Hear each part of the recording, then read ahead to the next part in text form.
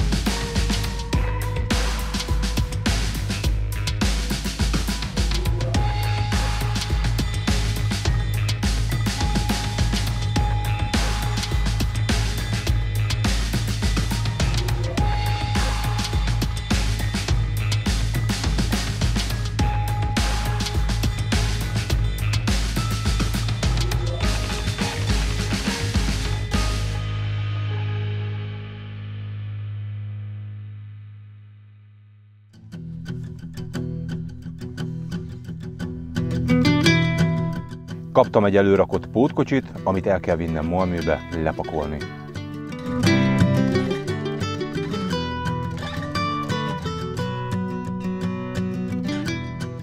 Hannovernél megálltam egy 45 perces pihenőre, és közben eljöttem sétálni egyet, van még már a 100 kilométerem.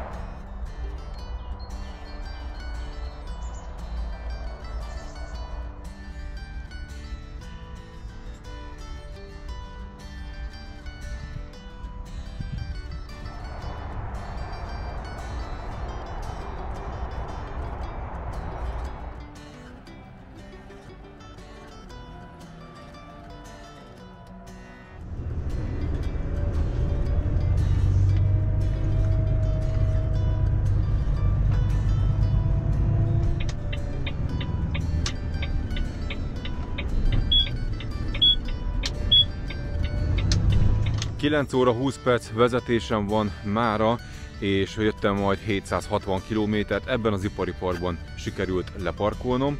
Most pedig elmegyek sétálni, megnézem azt a fordított házat. Ugye itt, hogyha WC-re lenne szükségem, akkor ott van egyszer a McDonald's, illetve ugye, hogyha kimegyünk vissza a pályára, azonnal itt van egy benzinkút, tehát így érdemes ipari parkot választani, és látjátok, van bőven hely.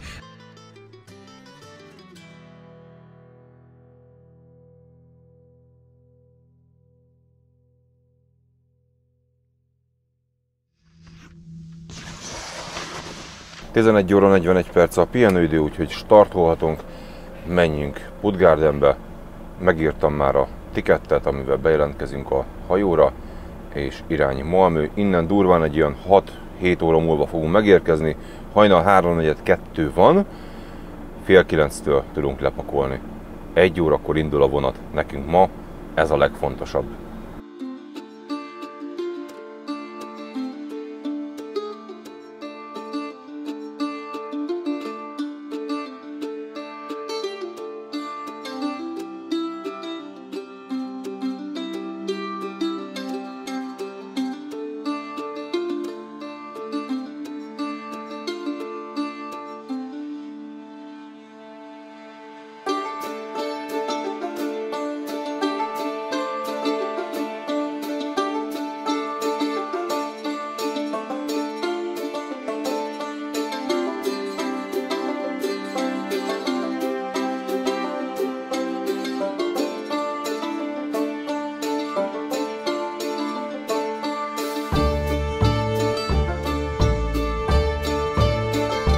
Meg volt a zuhanyzás, és leteszem a virslit, úgyhogy meg is reggelizünk. Az a jó egyébként így a kuktában, egy korty vizet teszünk alá, hogyha közben le is kell szállni, ez minket nem zavar. Félreállunk majd a parkolóba, és akkor ott megreggelizünk.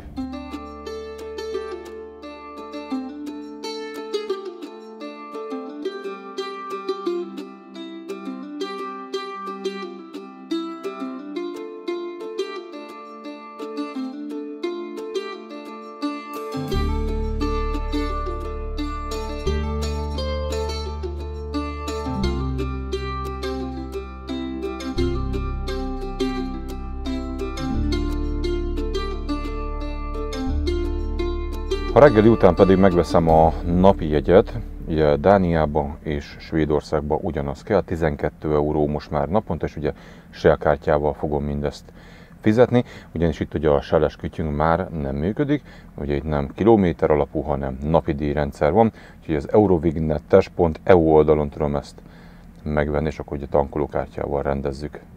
Itt a Dán határon egyébként visszaállították a, mondjuk úgy a határ ellenőrzést, és személyigazolványt, vagy hát ugye útlevelet kitől mit kérnek. Természetesen nekünk uniós állampolgároknak teljesen jó a személyigazolvány, úgyhogy ha ide jönnek hozzánk, akkor azt felmutatjuk és mehetünk is tovább. Nem volt senki a határon, és ezért érdemes egy picit félreállni, mert innentől kezdve te vagy magadba, legalábbis egy jó darabig, úgyhogy menjünk Kopenhágán keresztül az Oresund Bridge felé, majd megérkezünk Malmöbe nagyjából kettő és fél óra múlva, most reggel 6 óra van.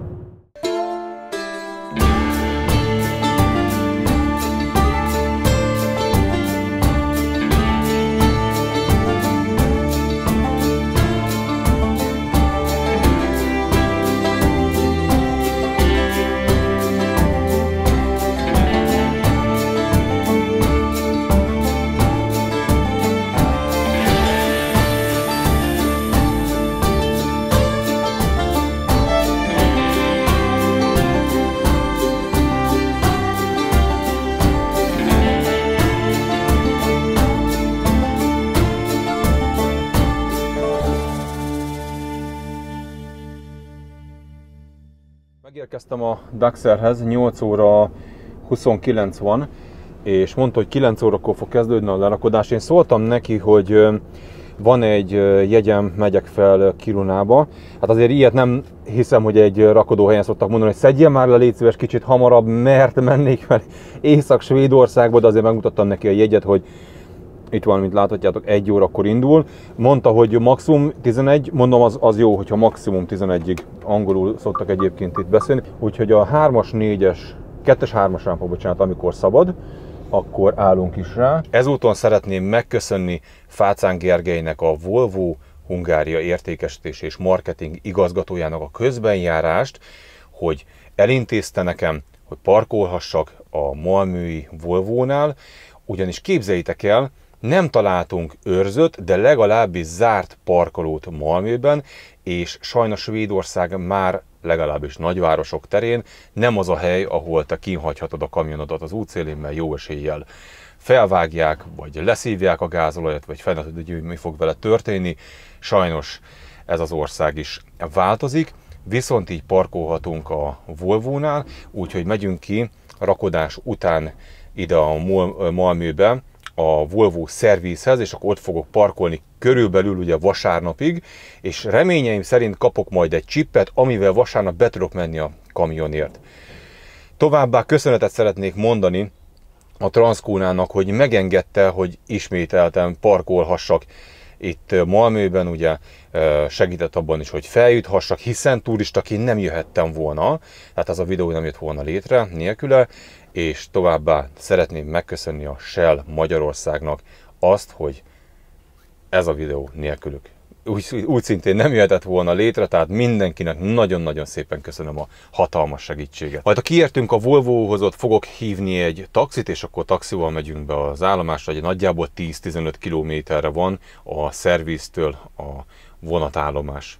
Megérkeztem a Malmői központi állomásra, ami itt látható mögöttem a Central Station. Egyébként képzétek, 300 koronáért hoztak be, az olyan 10 ezer forint az az összeg, amiért behozott a taxis kívülről. Kérdezgettem, hogy milyen helyzet itt a Covid-dal kapcsolatban. Azt mondta, hogy igazából itt minden nyitva van, mm, az nem kötelező a maszk sem, de lehet csináltatni egyébként. Elvileg ingyenes tesztet, de azt ő se tudta megmondani, mert én szeretnék egyet csináltatni. Az biztos, hogyha utazni is szeretnél a tesztel, akkor az 200 dollárt mondott, hát értem szerint a koronába, csak ugye a dollárba gondolta, hogy jobban értem így az összegeket. Kérdeztem tőle, hogy mennyire befolyásolja az ő munkáját, mennyire van munka, mert ugye Magyarországon eléggé megsínylik a turizmust így az emberek. Mondta, hogy igazából Svédország nem az a turista központ, itt inkább a helyiek, illetve azok, akik ugye jönnek például Stockholmból, repülővel, és azok szokták igénybe venni. Igen ám, csak itt a probléma az, hogy eddig óránként 2-3 repülő jött, most azt mondja, naponta jön 2-3, tehát ugye a turizmust visszavetette pont ez miatt, mert kötelező, viszont akkor kell a teszt. Úgyhogy ez jelenti így a fő problémát, és így, mint láthatjátok, járókelők nem nagyon vannak, de tényleg maszk senki nincs, üzletek nyitva vannak, de üresek. Tehát azért nincs egy tömegnyomor. Tehát ezt lássátok ti is, illetve bent is azért csinálok nektek egy-két felvételt. Na menjünk be, hát ha találok egy tesztállomást.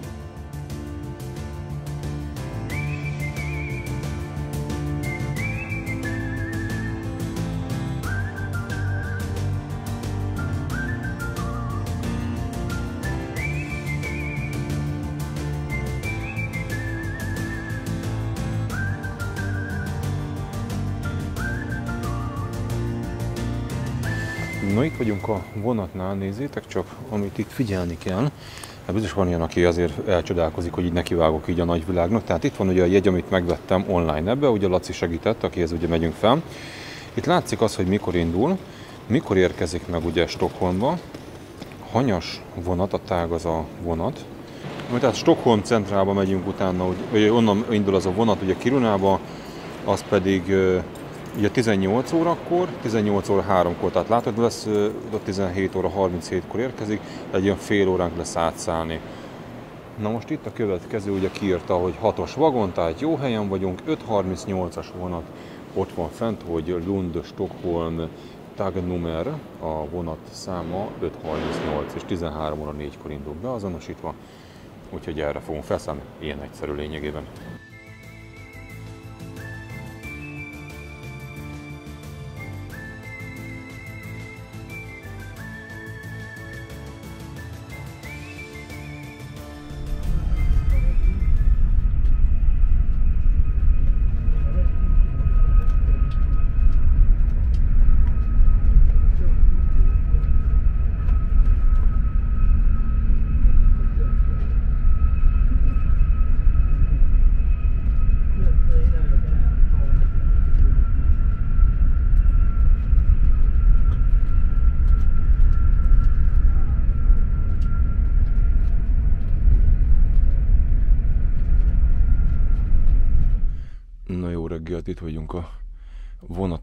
Csináltam nektek felvételt, mert hárman voltunk. Ilyen ágyakon tudtunk aludni. Nem mondanám, hogy nagyon kényelmes volt. Itt az alsó ugye ezen ülni is lehet. És ebből csináltunk ágyat, illetve itt felül pedig fix ágyak vannak. Van ágynemű is. Úgyhogy van még, van még mire nézni. Ahogy látom, elég szép havas a táj. Hát ezt úgy képzeljétek el, mint a Harry Potter filmekben, ugye ilyen ajtó, függöny, és akkor itt végig így vannak kabinok, mindjárt megyek, megnézem, van-e valahol ilyen ö, kávézó vagon.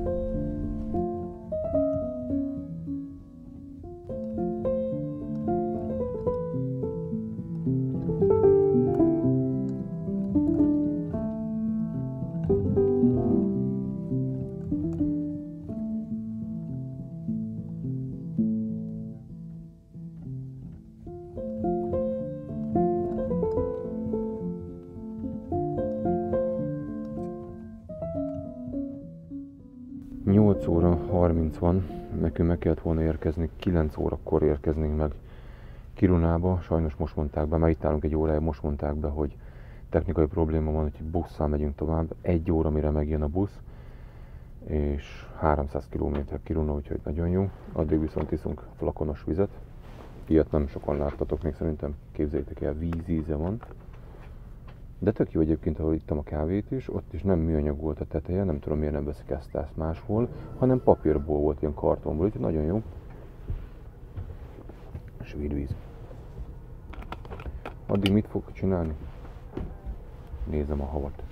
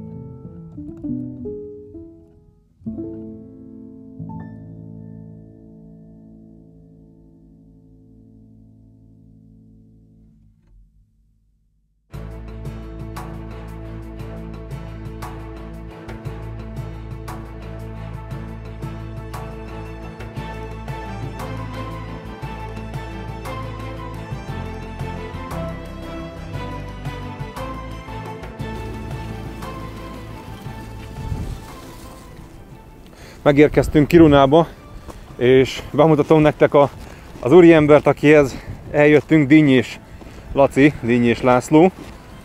Úgyhogy ő lesz a mi házigazdánk, ő fog minket körbe kalauzolni. Úgyhogy vele töltjük itt el ezt a röpke négy napot. Szia Laci! Szia! Kicsit körülményesen is, de megérkeztem. Szerencsésen. Hú, jó hideg van itt felétek, úgyhogy normál időjárás. Oké, okay, menjünk valamit kajáljunk szerintem, mert nem, nem tudtam kajálni a vonaton, ugye így, hogy lerobbant, utána a busszal kicsit megcsúsztunk, úgyhogy ha gondolod valahova menjünk el, kajáljunk egyet. Rendben, jó ötlet. Oké. Okay. Menjünk. Hajrá. Miközben a tájat nézed, biztosan felmerül benned a kérdés, milyen célral jöttem ilyen éjszakra. Továbbra is célom a kamionos szakmát bemutatni, hogyan dolgoznak a kollégák, ennek a munkának milyen fajtái, szépségei és nehézségei vannak, nem különben mi magyarok ha már így messzire kerültünk a hazánktól, miként élünk itt, akár az északi sark közelében. Ha nem találod a helyed a világban, ne add fel, keresd azt a helyet, ahol elégedett és boldog lehetsz. Lacinak köszönöm, hogy bepillantást enged ebbe a világba és az ő életébe.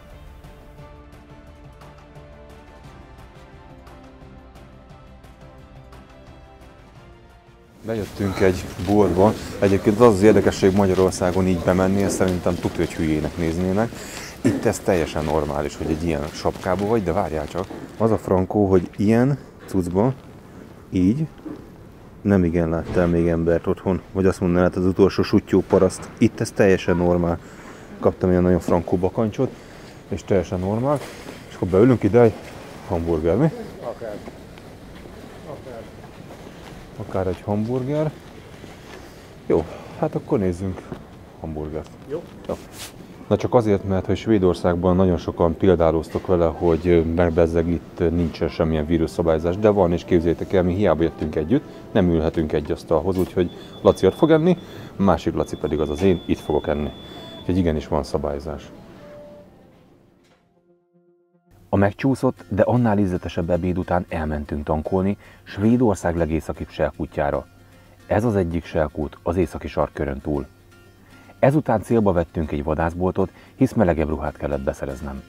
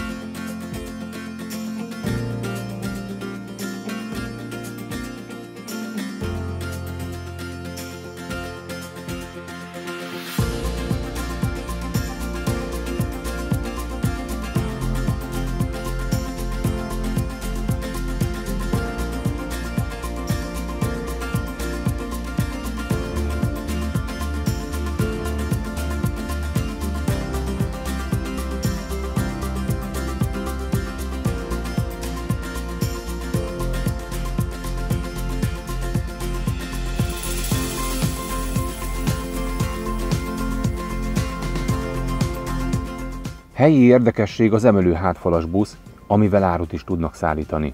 Körülbelül 6 euróra fér rá. Itt természetesen minden járműre térigumit, vagy szegecses téligumit szerelnek.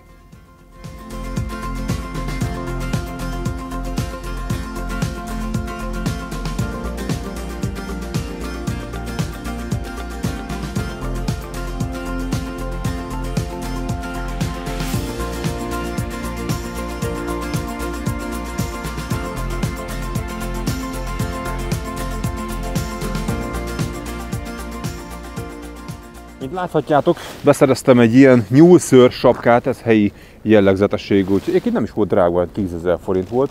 És teszem hozzá nektek, hogy valami eszméletlenül hideg van. A kezem pedig igazából csak mínusz 9 fok van, de hogyha nincs a kezemen kesztyű, akkor nagyjából 3-4 percet bírok így megmaradni, annyira hideg van, hogy csontáfagy. Ahol most egyébként vagyunk, Ez a világ legmodernebb mélyművelésű vasércbányája.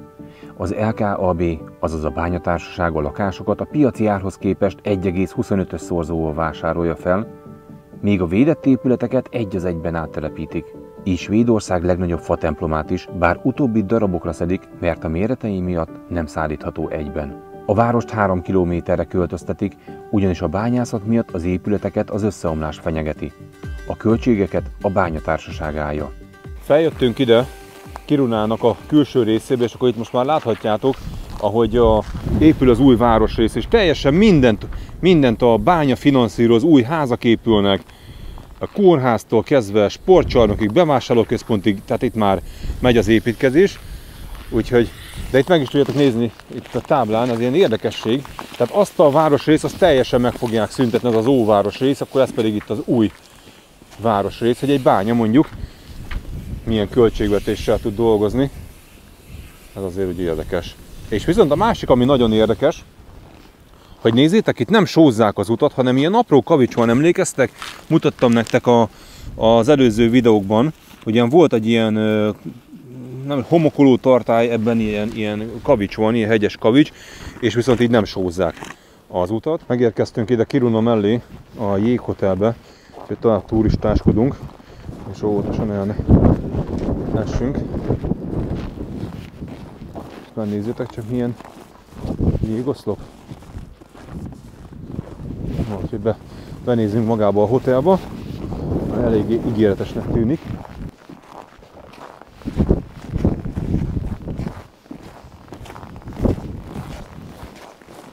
Meeting point, point. Aha, akkor üljünk le, és akkor itt beszélgessünk, úgy gondolták? Aha. Igen, itt a lóca. Nézzétek csak! Baromira érdekes, hogy úgy van megkezelve. Nagyon érdekes a külseje. Fura. Égre még így ilyenben van. Nem csodálkoztam rá, de ezt nézzétek. Le van szépen kerekítve. Hát nem olvad. Akár, hogy tapizom, ez nem olvad egyébként. Egy nézzétek meg, nem vizes a kezem. A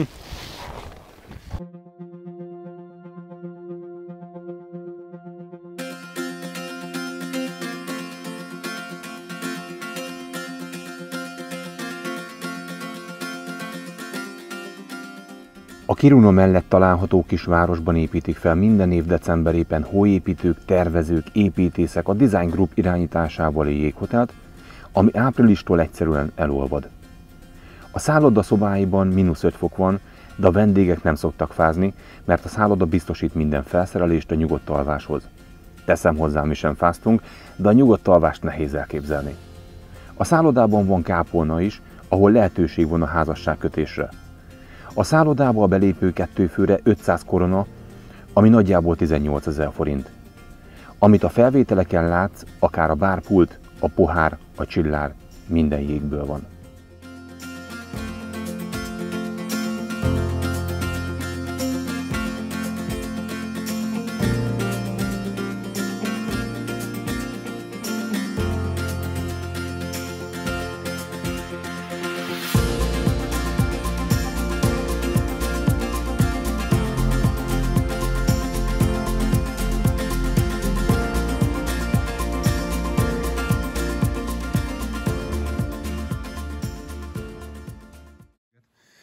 Érdekességet mutatok nektek.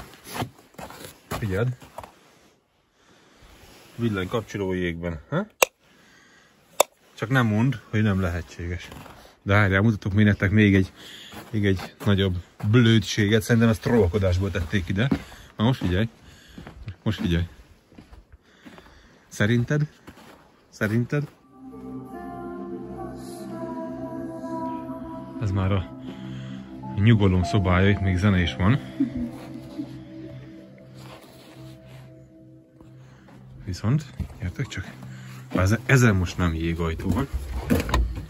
Jeges, figyelj. Nézd csak a plafont.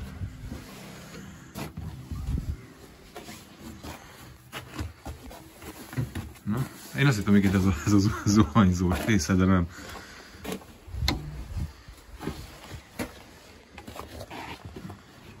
Hát.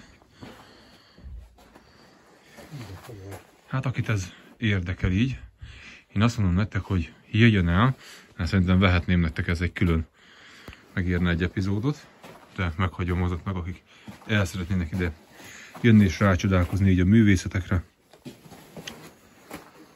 Ez, ez már művészet.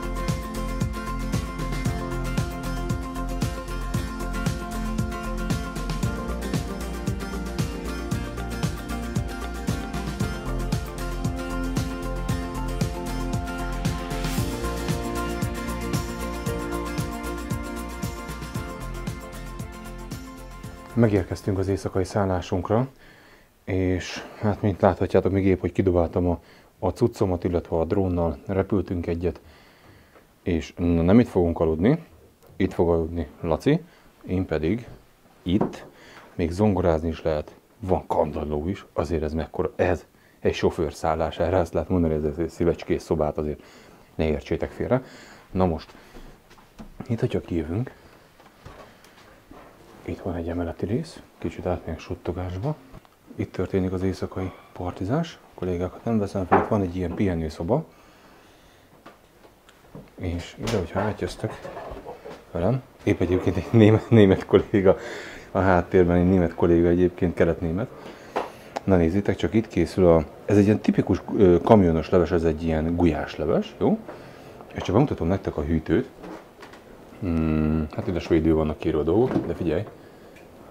Figyelj, figyelj ide, azért északi sarkhoz közel, azért, azért ott van a, a termék.